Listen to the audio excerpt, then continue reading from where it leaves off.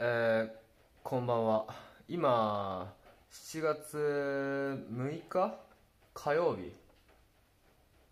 か。えっ、ー、と今北海道の新冠町ってとこにいて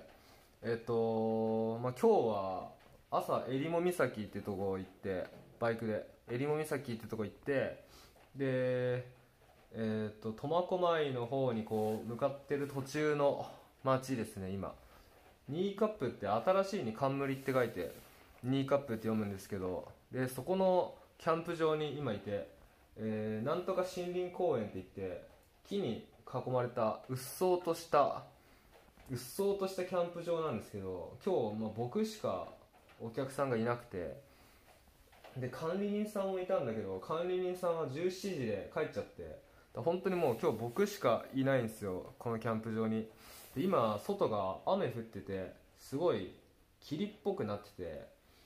なんだろうな非常に不気味。はい。で今ここあの炊事場なんですよ。えっ、ー、とバーベキューハウスっていう名前なのかな。炊事場。まあ、ここは電気がついて、えー、コンセントもあるんで、まあ、今日天気が悪くてソーラー充電が全くできなくて、まあ、危うくこうなんだろうスマホもカメラも全部充電なくなっちゃうような感じだったんで、はい、今ここぞとばかりに充電してる最中です。でそうですね一応これからの予定なんですけど、えーとまあ、明日は千歳の方に行きます、まあ、苫小牧を目指してこう海岸沿いをずっと走っていって途中で中の方に入って千歳市の方に向かってで明日はキャンプじゃなくてライダーハウスって言って北海道にはこうなんかバイカー向けの簡易宿泊所みたいなとこがまあ結構あるんですけど結構はないか。まあちょいちょいあるんですけど明日はまあテントじゃなくてそのライダーハウスに泊まろうかなと思って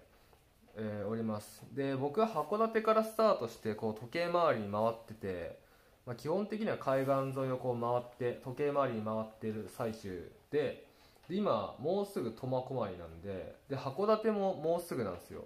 でまあ今までのペースでいくと多分明日明後日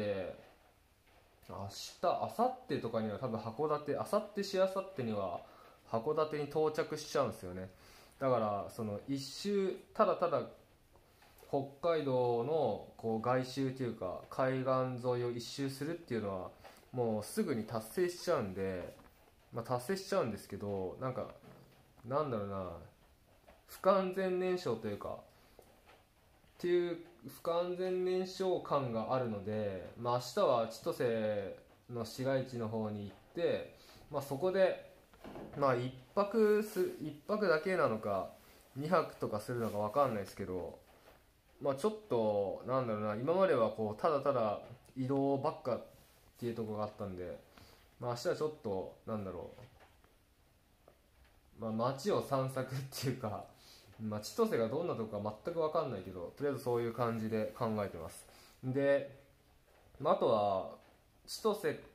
から出たらまた海岸沿い戻ってこう函館を目指すんですけど、まあ、とりあえず函館には到着してでこう一周したっていうのはとりあえずやって達成してでその後またあの最初のキャンプ地であるその江差町ってとこがあるんですけどそこまでまた行って、まあ、同じ道を通るのか分からないけどまた行ってでそこからフェリーに乗って、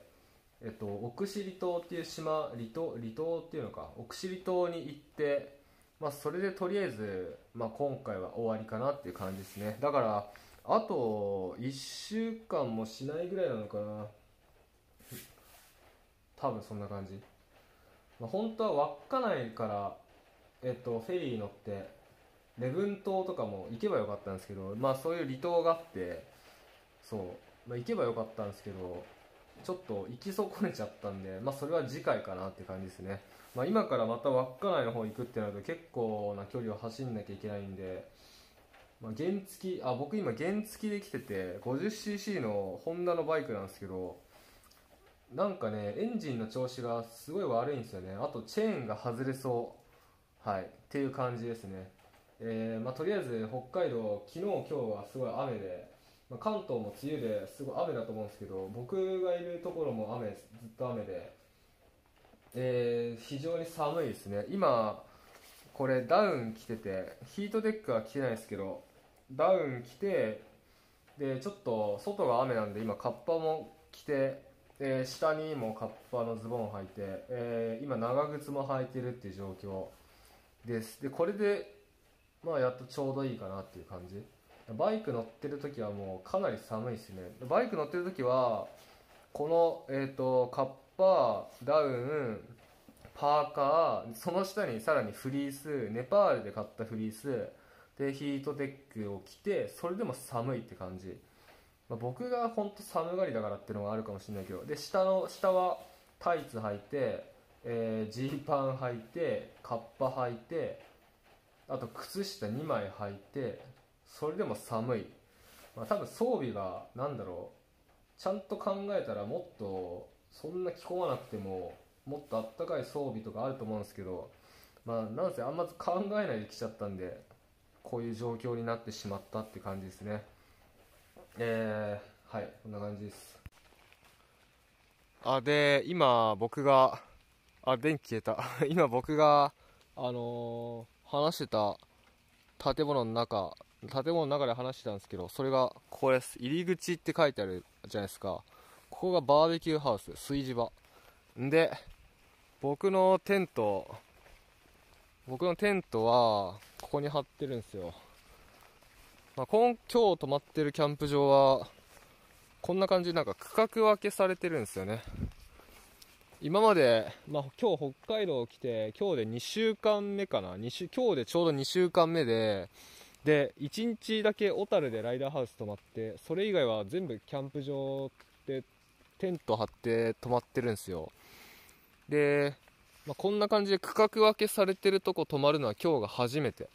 他今まで泊まってたのは全部なんだろうフリーサイトっていうの？どこどこに貼ってもいいですよみたいな感じ？で今日のキャンプ場は芝じゃなくて砂地なんですよね。砂地にあの暗いか見えねえな。砂地に張ってます。で明日の朝あのマットあちょっと洗わないとなって感じなんですけど。えでこれがバイク。ちょ暗いな。これ昼間に撮ればよかった。バイクですね。これ 50cc のホンダのスーパーカブプロってバイク。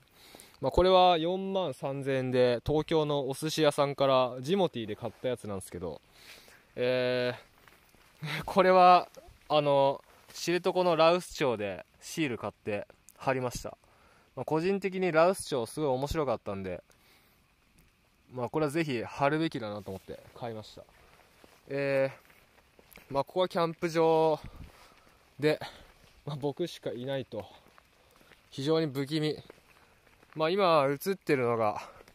えー13日の金曜日みたいなライト、まあ、あれはトイレですね。えさっきまでトイレ真っ暗だったんですけど、まあ、なんか真っ暗なのは嫌だなと思って、まあ、ちょっと電気をつけて、まあ、電気をつけたらつけたでこんな感じで、まあ、なんか不気味さが醸し出してるんですけど、えーあとはちょっと霧っぽくなってますね。北海道はね北海道全般に言えんのか分かんないけど霧がなんだなどこ行っても霧っぽいんだよな今のところ。まあこれは季節の問題なのかもしれないけど。そうあの知床もすごい霧だったし今日の朝行ったえー、っとなんだっけ。えなんだっけなん何岬だっけさっきさっきは名前が出てきた。えー今日の朝行った岬も霧で、えーもう全く景色は見えず。まあ僕は景色にそんな興味ないからいいんだけど。まあで今日もあのーこんな感じで霧です。雨です。はい。えー、まあ今日はここで寝ます。って感じ。まあ中間報告っていうのかな。中間はもう過ぎちゃったか。まあこういうのもっと取っとくべきだったんだけど。まあとりあえず今日はここで寝るんで。はい。じゃあ、